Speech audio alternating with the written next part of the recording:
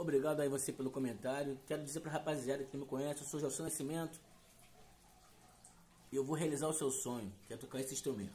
Legal? Então se você sonha em tocar esse instrumento, cavaquinho, em 2023, chegou seu momento. Continue seguindo aí no TikTok.